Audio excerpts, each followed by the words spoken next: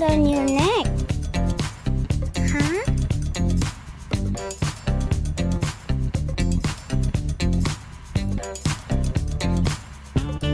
He's a vampire. Maybe he wants to eat me. hey, what's that